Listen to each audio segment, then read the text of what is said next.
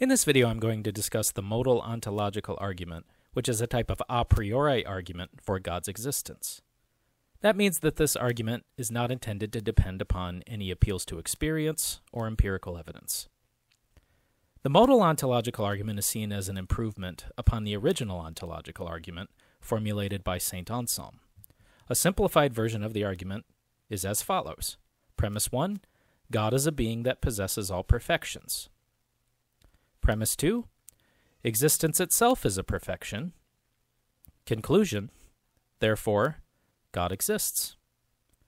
Now, this argument is deceptively simple, but it also does not work. The specific reason why it doesn't work is that it is deductively invalid, meaning that, even if the premises are true, it doesn't guarantee a true conclusion. More formally, we can see why the argument is invalid. Premise 1 If any being is God, then for any perfection, that being has that perfection. Premise 2 For anything that exists, there is at least one perfection, such that that thing has that perfection. Conclusion Therefore, God exists. Now, what's the problem with this argument? The problem with the argument is that the premises do not imply anything, but the conclusion does. This is known as the existential fallacy. The modal ontological argument does not suffer from this fallacy. However, the modal ontological argument does rely upon what are called the alethic modalities. These are modalities that have to do with what is possible, contingent, or necessary. So, first we have possible existence. To say that something possibly exists just means that its existence is not impossible. That thing could be actual. To say that something exists contingently means that it exists, but its non existence is not impossible. And then to say that something necessarily exists means that its non existence is impossible. So, using these alethic modalities, we can give this initial sketch. 1. God is a being that possesses all perfections. Premise 2. Necessary existence is a perfection.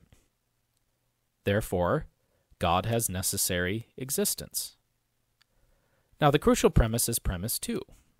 Why should we think that necessary existence is actually a perfection? Well, suppose you're playing your favorite video game and you are running out of lives. And for 1,000 coins, you have the option of making it so that you have permanent health, meaning that you cannot die. Would you like to upgrade for 1,000 coins? You probably should, because upgrading this way would give you a kind of existential security. You cannot die. Well, necessary existence provides God with existential security, which is why a lot of people think it's common to think of necessary existence as a perfection. Now, we should note that affirming that necessary existence is included in the definition of God does not mean that God actually exists. Why? Conceptually, God having necessary existence is compatible with God's existence, nevertheless being impossible.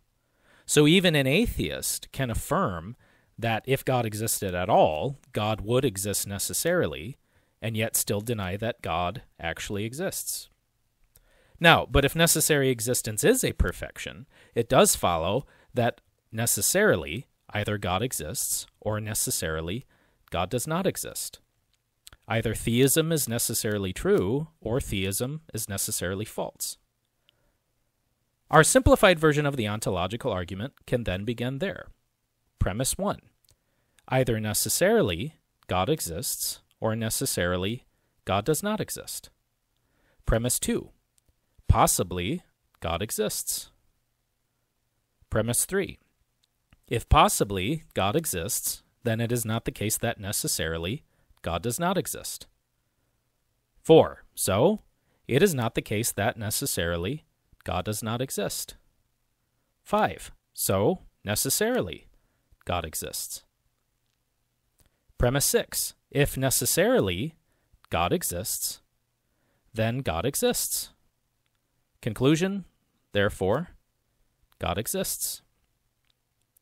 Now, there are different ways of objecting to this argument, but we're going to focus on premise 2.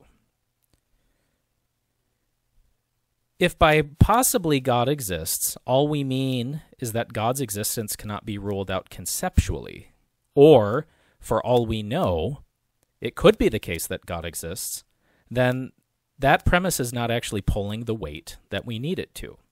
Why? We want to say that it's metaphysically possible that God exists. So, in order for the fact that God's existence cannot be ruled out conceptually to lead to God's metaphysical existence or possible existence, we need to have some reason to believe that anything that cannot be ruled out conceptually is metaphysically possible. Well, consider this analogous argument. So let's start with Goldbach's conjecture. Goldbach's conjecture is the position that every even integer greater than 2 is the sum of two prime numbers. Now, as a possible axiom of math, it's going to be the case that either necessarily Goldbach's conjecture is true or necessarily Goldbach's conjecture is false. But it's certainly possible that Goldbach's conjecture is true. We cannot rule Goldbach's conjecture out conceptually. But if possibly Goldbach's conjecture is true, then it is not the case that necessarily Goldbach's conjecture is false. So, necessarily, Goldbach's conjecture is true. But if it's necessarily the case that Goldbach's conjecture is true, then that means Goldbach's conjecture is true.